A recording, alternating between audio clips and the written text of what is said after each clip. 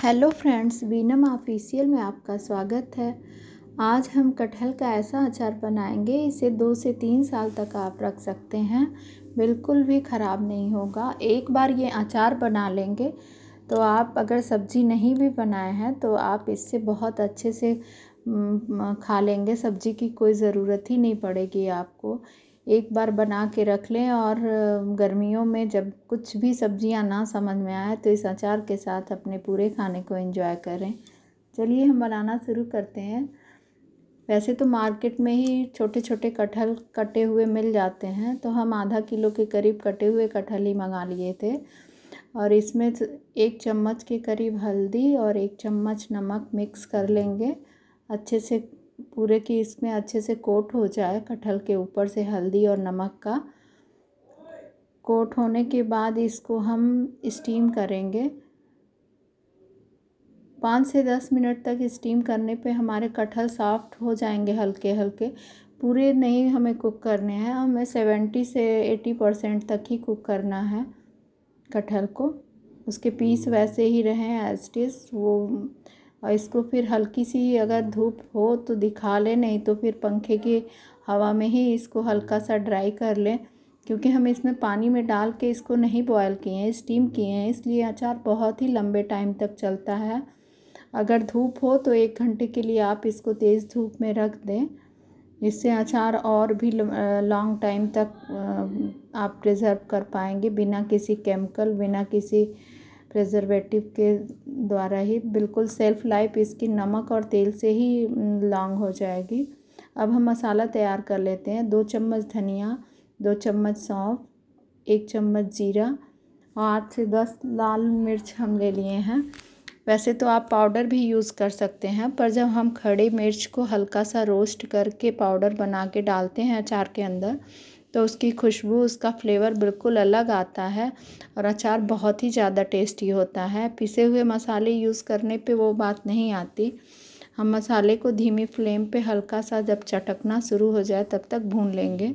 मसाले को बहुत जलाना नहीं है, फिर इसको ठंडा करके ग्राइंड कर लेंगे सारे मसाले को।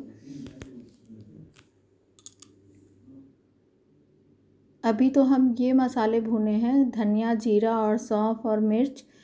थोड़े से हम ऐसे मसाले, ये हल्का सा गैस की फ्लेम बिल्कुल धीमी करके कढ़ाई गर्म हो जाएगा तो गैस बंद कर देंगे और गर्म कढ़ाई में ही इसको चला लेंगे कि इसका मॉइस्चर ख़त्म हो जाए। उसके लिए हम इसमें दो चम्मच सरसों लिए हैं, एक चम्मच अजवाइन, एक चम्मच मंगरेल। इन मसालों को हम हल्का रोस्ट कर लेंगे। तो धनिया और जीरा और सौंफ जो था, उसको हम पाउडर बना लेंगे, फिर थोड़ा सा इसको दरदरा पीस लेंगे इन मसालों को, जो बाद में हल्का रोस्ट किए हैं, अजवाइन, मंगरेल और मस्टर्ड सीड को।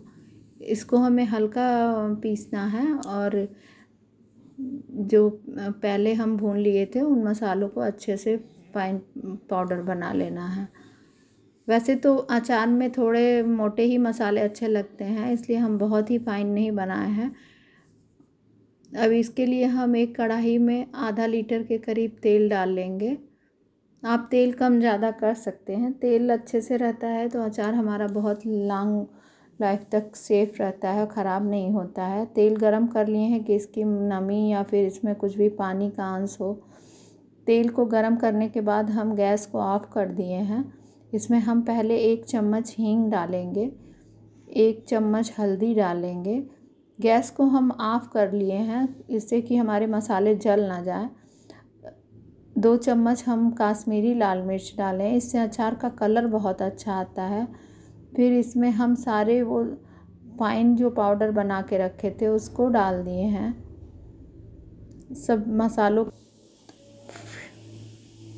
सारे मसालों का फ्लेवर तेल में आ जाता है। तो इससे हमारे अचार की खुशबू बहुत ही अच्छी हो जाती है। और ये भी सारे मसाले हम डाल दिए। हम दो बार मसाले भुने थे। दोनों मसाले को ऐड कर लिए हैं तेल में। उसके बाद हमारा कटहल ड्राई हो गया था। इसको भी इसी में डाल के ऐड कर लेंगे। कढ़ाई हमारी गर्म है तो सारे मसालों की नमी और उसका फ्लेवर बहुत ही अच्छे से खुल के आया है। बहुत ही अच्छी खुशबू आ रही है अचार से। अब ये पाँच से छः आम को हम ग्रेट करके रख लिए थे। एक कटोरी के करीब हमारे पास ही कद्दूकस किया हुआ आम था। तो इसको भी हम इसमें मिक्स कर लेंगे। वैसे तो बहुत लोग इसमें ऊपर से आमचूर पाउडर या खटाई डालते हैं तो उससे भी ज़्यादा टेस्टी, लच्छे से बन के अचार तैयार होता है।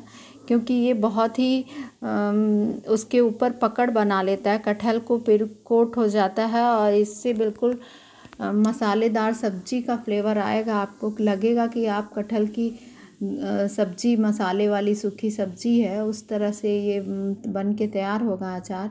इसको हम अच्छे से मिक्स कर लेंगे। नमक भी डाल लेंगे यहीं पे, इस स्टेज में ही हम।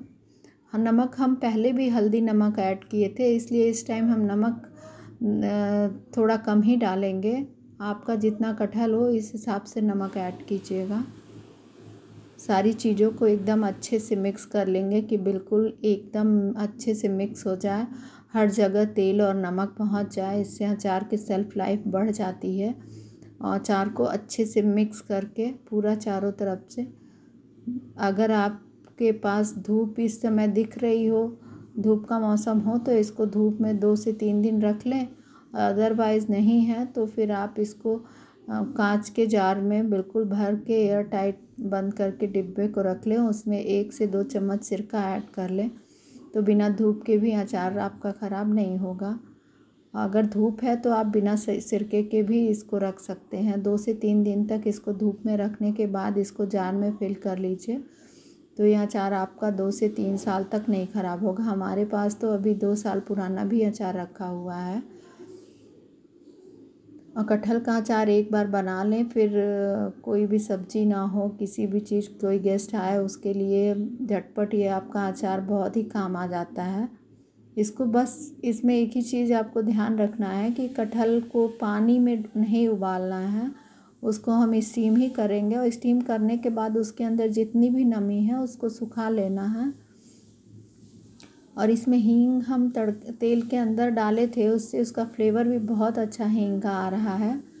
आप एक बार इस तरह से अचार बना लेंगे तो हमेशा ऐसे ही बनाना चाहेंगे। आपको हमारी रेसिपी अगर अच्छी लगी हो तो रेसिपी को लाइक कीजिएगा और चैनल को सब्सक्राइब कीजिएगा। और हमारा तरह तरह के अचार और रेसिपीज़ का आपको नोटिफिकेशन मिल जाएगा तो उसके लिए आपको बेल आइकन ऑन करना होगा। उसे ज़रूर ऑन कर लीजिएगा। हमारे चैनल पे आपको बहुत सारी अच्छे अच्छे अचार की रेसिपी मिलेगी।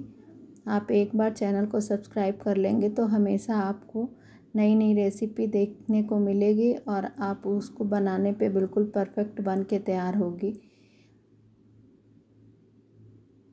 आपका कटहल का अचार कैसा बना बना के ज़रूर बताइएगा हमको कमेंट में।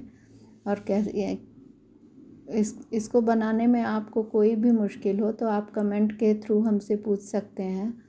हम आपको ज़रूर जवाब देंगे उसका।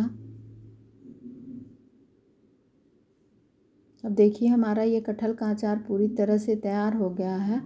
अब इसको हम एक से दो दिन धूप में रखने के बाद इसको कांच के कंटेनर में स्टोर कर लेंगे।